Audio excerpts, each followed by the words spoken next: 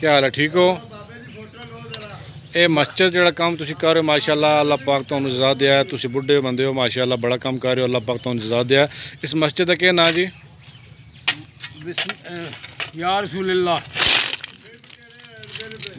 लब्बैक या रसूल अल्लाह ਲੱਬੈਕ ਯਾ ਰਸੂਲ ਅੱਲਾਹ ਮਾਮਾ ਸਾਖ ਸਾਹਿਬ ਵੀ ਜੀ ਉਹ ਤੁਹਾਨੂੰ ਨਜ਼ਰ ਆ ਰਹੇ ਨੇ ਨੀਆਂ ਕੱਢ ਰਹੇ ਨੇ ਨੀਆਂ ਚ ਪਾ ਰਹੇ ਨੇ ਜਨਾਬ ਰੋੜੀ ਛੋੜੀ ਪਾ ਰਹੇ ਨੇ ਐਡ ਪਲਾਟ ਡੋਨੇਟ ਹੋਇਆ ਮਸਜਿਦ ਵਾਸਤੇ, ਉਹਦੇ ਕੰਮ ਜਾਰੀ ਹੈ?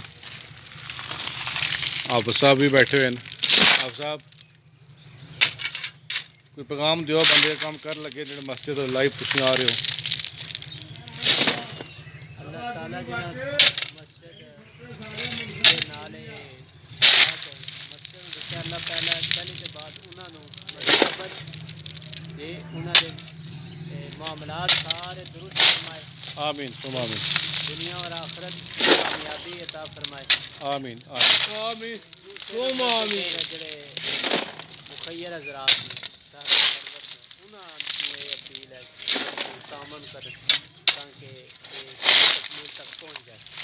جی جی ناظرین تھی جیسا کہ سن رہی ہو حافظ صاحب نے ریکویسٹ کیتی ہے کہ مسجد واسطے بڑھ چڑھ کے حصہ لو۔